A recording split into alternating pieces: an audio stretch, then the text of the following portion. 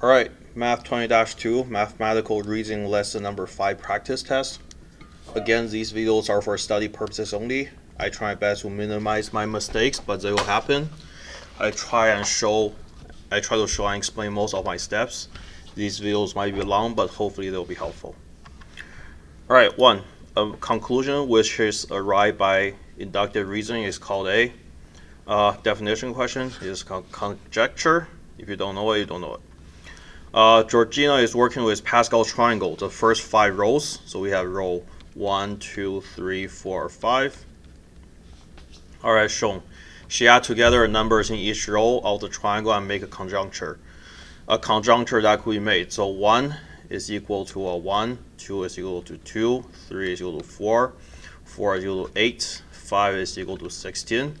So 1, this is 2 to the power of 0, 2 to the power of 1, 2 to the power of 2, 2 to the power of 3, 2 to the power of 4.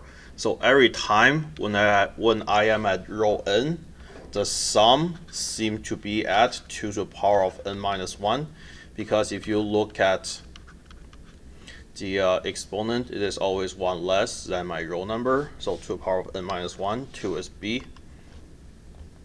Use the following information will answer the next three questions. Okay, here's a sequence. If this sequence continues in pattern, then what will be the next number?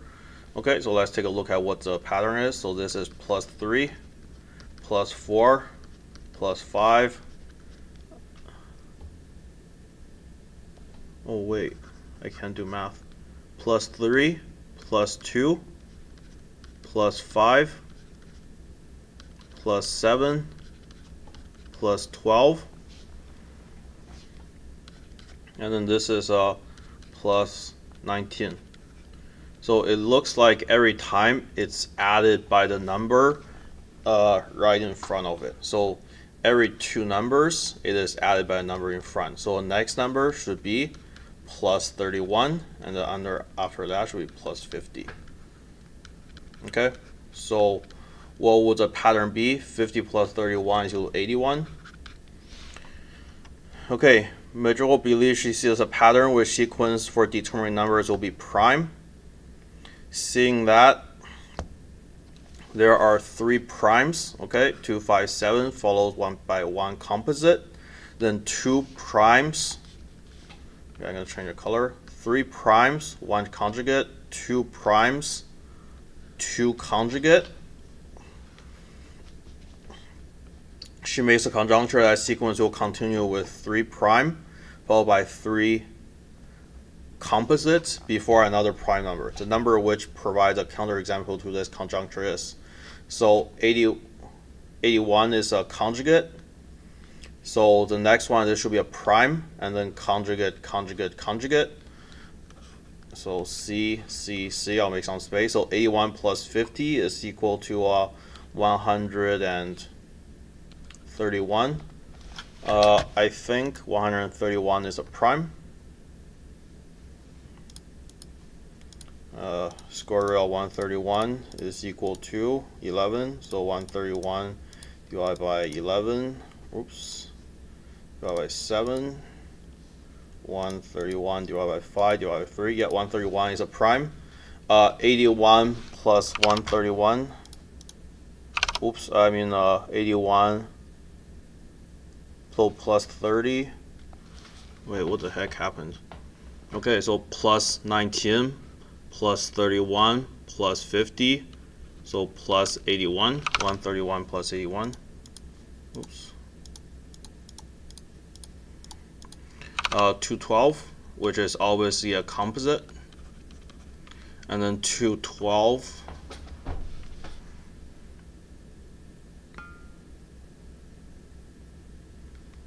So 50 plus 31 is 81, 81 plus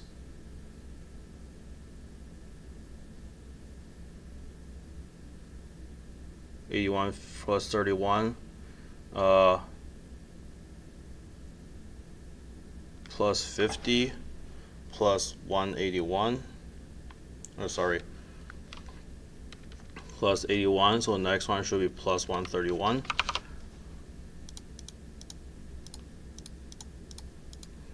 343. I believe this is divisible by 7. Okay, so it works out. and then 343 plus 212,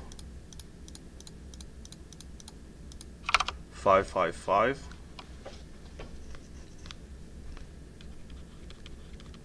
which is also composite. And then the next one will be uh, 555 plus, or it's divisible by 5 obviously, and then plus uh, 212, 767, which should be a prime.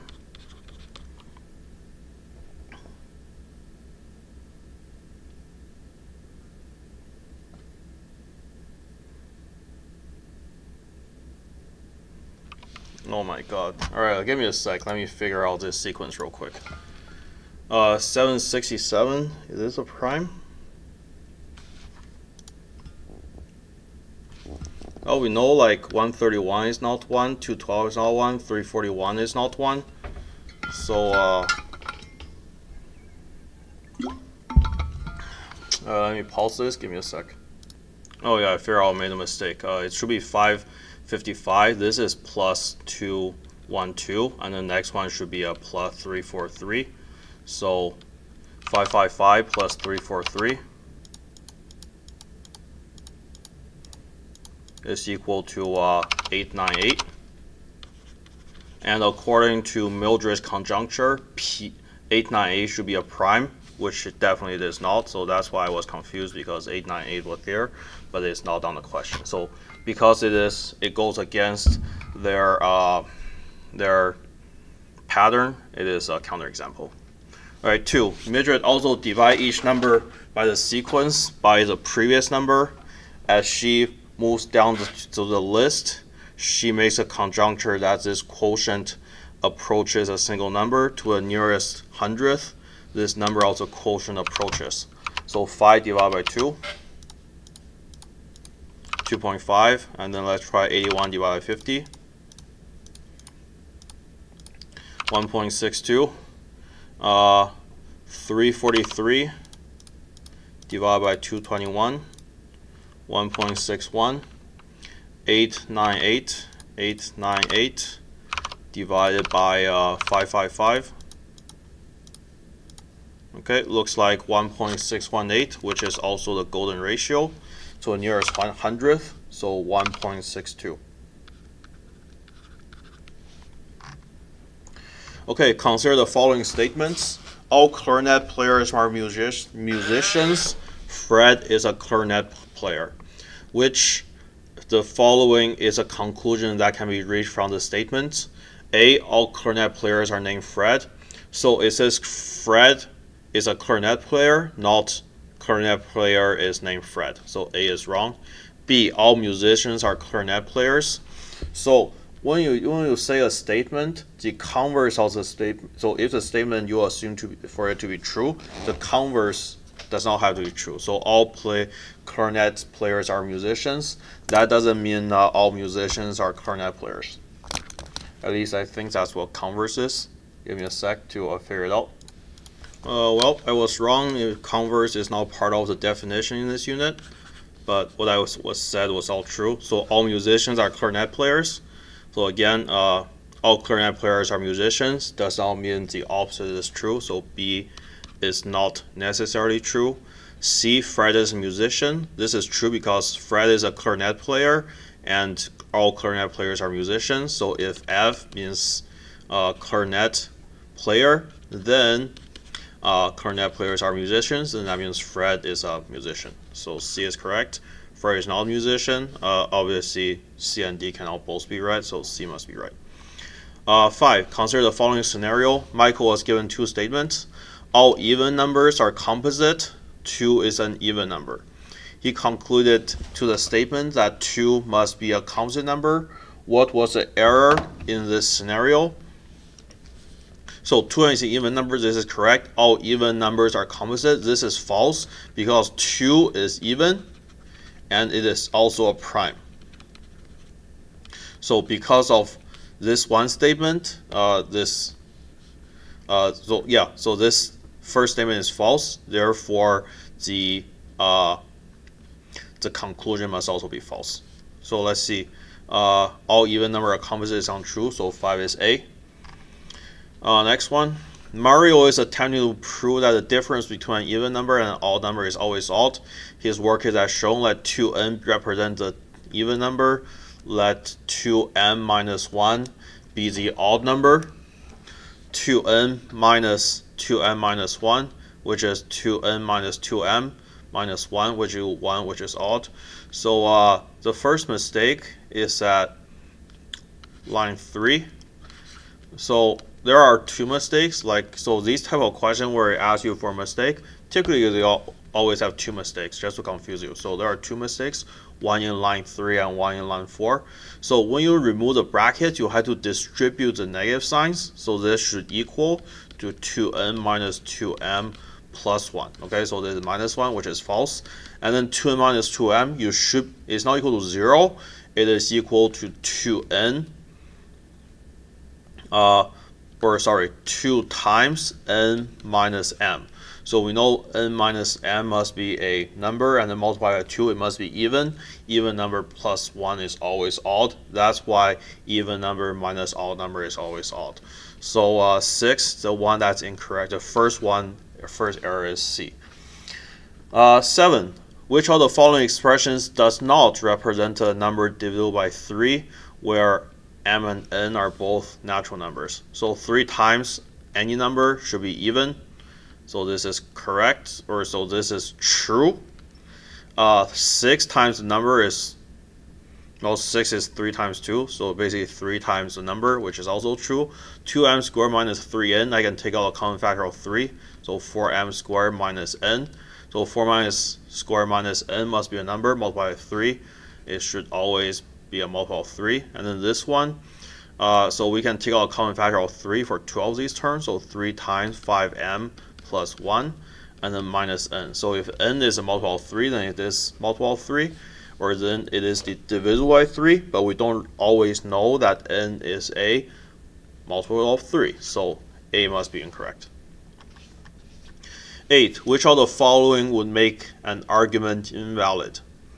uh, not enough premises, an error in the reasoning, too many premises, or no conclusion. So I guess technically circular reasoning can be valid, but normally it's not. But then if you have an error in the reasoning, that is uh, that is a big no-no. So B is probably better than D. So even if you have a no if you don't have a conclusion, you can still have an argument. So the many premises, it doesn't really matter as long as you have some premise. Okay, uh, Olivia showed her friend Alexander the fallacious proof. So fallacious on not true proof for 2 is equal to 1.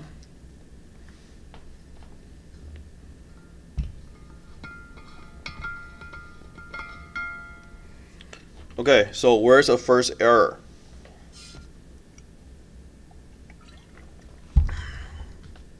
So A is equal to B equal to C.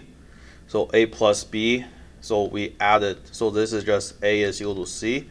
And we, oops, A is equal to C. Then we added B on both sides. Okay, so nothing wrong with that.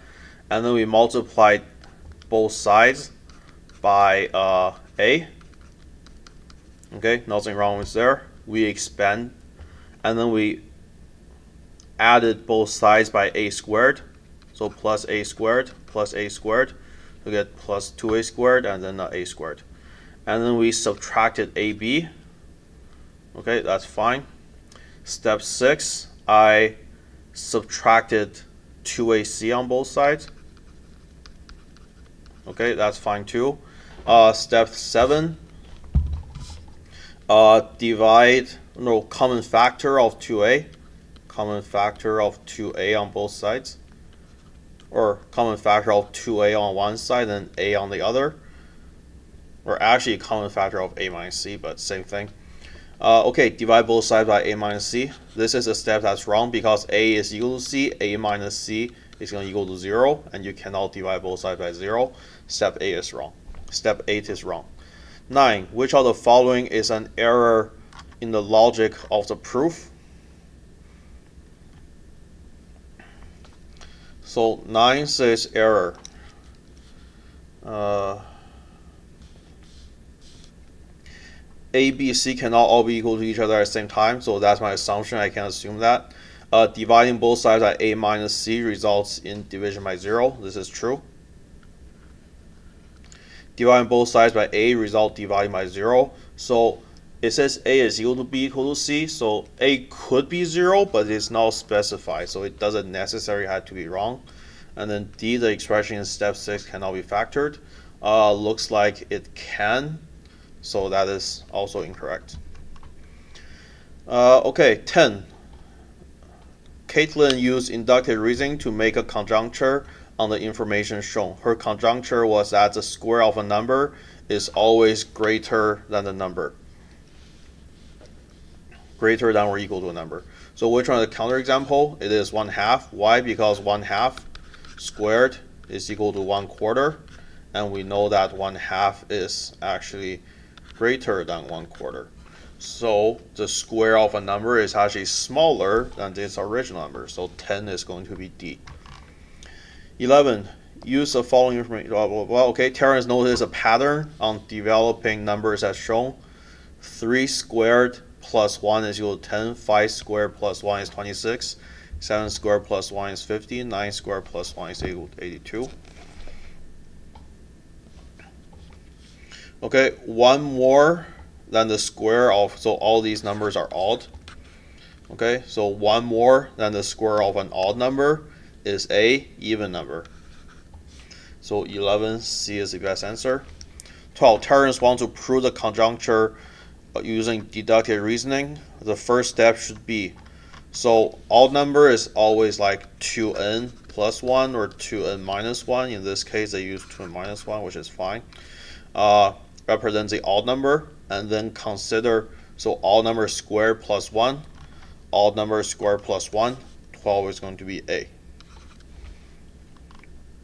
Uh, for turns look at the first three rows of the pattern and make a conjecture that one more than the square of a prime number is an even number. So what is a counter example well when you say prime number uh, the typical prime number counter example is always 2 because all the other cases 3 5 7 11 13 all the other prime numbers beside 2 is odd. So 2 is typically the uh, odd one out. If we're talking about uh, prime numbers. Okay so 2 squared plus 1 is equal to 5 which is odd. It is not even so the only counterexample is 2 13 all of George's and Ava's sons have brown eyes and all of their daughters have blue eyes.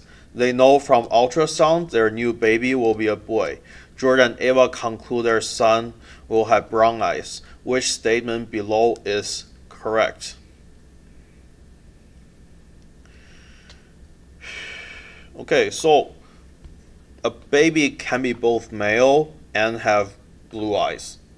Uh, just by walking outside, you can probably see some male people with blue eyes. So I will say the conclusion, it could be true, but it also might be false. So D and or B and D are first correct. What is this based on? Inductive or deductive reasoning? So uh, I think inductive. Inductive is based on previous examples. So pre examples might hold true, but the next one might not all, always necessarily necessarily be true. It is based on what you have observed. It is not an empirical proof. So 13 is B. Okay, next three questions. Two friends, Amy and Sunny, are playing a vacation, a variation of the game Nim, which there is one pile of pennies, and the player must remove one, two, or three pennies each turn. Player one who takes first turn, the player who removes the last penny is a winner. The smallest number of coins Amy can leave Sunny to choose from and guarantee that Amy will win this. So the answer is 4. Okay, so you just add up the smallest and the biggest thing you have to choose from. So 1 plus 3 is equal 4. So that if, uh, if if Sunny choose 1, then Amy choose 3, Amy wins. If Sunny choose 2, Amy choose 2, then Amy wins. If Sunny choose 3, Amy choose 1, and Sunny wins again. So the answer is 4. The first game start with 12 coins. The second game start with 18 coins. Uh, Amy start both games. Which statement is correct? So we go back 4, 4, 4, or sorry, 4 add 4 is 8. 8 add 4 is 12. 12 add 4 is 16. 16 add 4 is equal to uh, 20. Okay, so that means if I, so after I withdraw a coin and it lands on one of these numbers, then I can always guarantee a win. Uh, if I cannot land on one of these numbers or I start on these numbers, I cannot guarantee a win. So if Amy starts with 12 coins, then Amy is not guaranteed to win the first game, as Sunny can guarantee that she wins the first game. But if there are 18 coins, then Amy can withdraw two, and then uh, Sunny can or and Amy can't guarantee to win the game. So Amy, so Sunny can guarantee she win the first game, Amy can guarantee win the second game. Uh, 14 is D. 15. Amy and Sunny changes the rule so that the player who takes the last penny is a loser, while still taking one, two, three pennies each turn. The play they play four new games. Game A was four pennies, game B was five pennies, game C with uh, eight pennies, and game D was ten pennies. So now, instead of taking the last one, we want to leave one, okay? So after I leave one, I just add four to it, so I get five. So that means if I have five, and then I just, whoever takes from five, I can just subtract or I can take four, subtract by how many they take to guarantee they will always leave one because if you have one, you must take that penny and then you will always lose. So I can just keep adding four to it. Uh, 5, 9, 13, 17. So if you don't start on one of these piles, then you can guarantee a win. So four pennies, that is guarantee a win. So 4 is a win because it's not on one of these piles. 5 is a lose. 8 is a win. 10 is also a win. So we have A, C, and D. 15 is C. Okay, the game of dots and boxes is played with two players on a grid of the size consisting of distinct dots. Players take turns connecting two of the dots in either a horizontal or vertical direction, and a point is scored for each box uh, or square completed by a player. If player completes a box, they are obliged to make additional moves until they do not complete the box.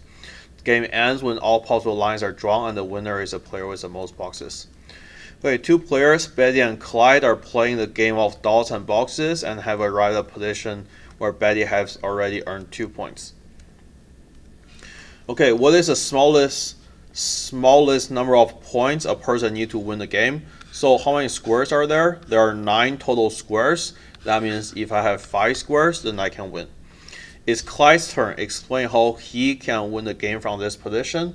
So I can just complete a square here, or I can complete a square here, and then I can just keep going until I win. Okay, so that, that's a score of 7 to 2, so Clyde wins. Uh,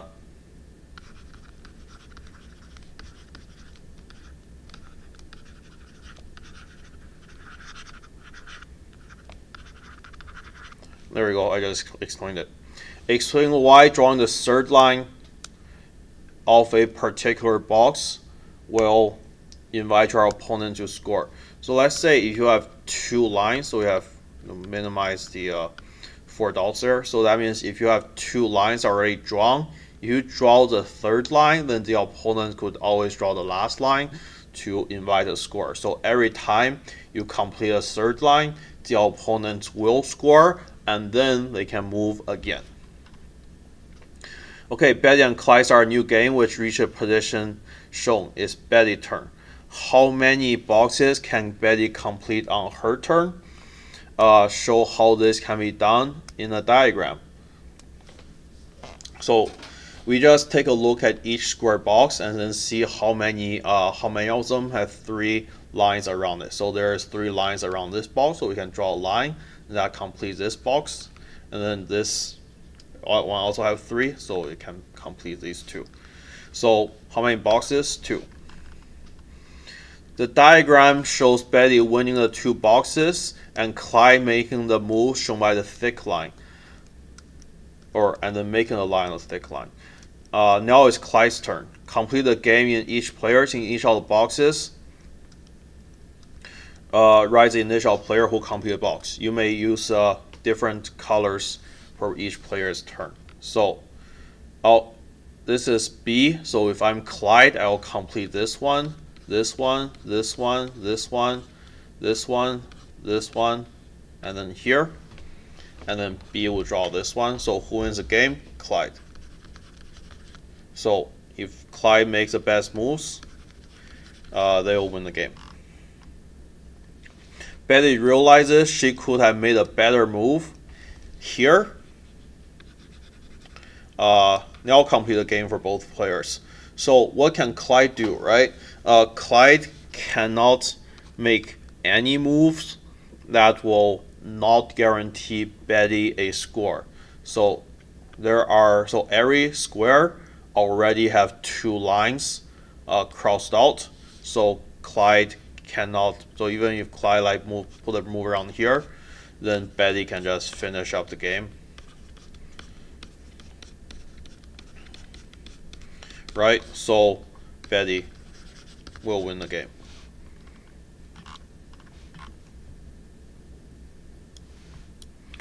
Alright, that's it for Math 20-2, Mathematical Reasoning number lesson number 5 practice test.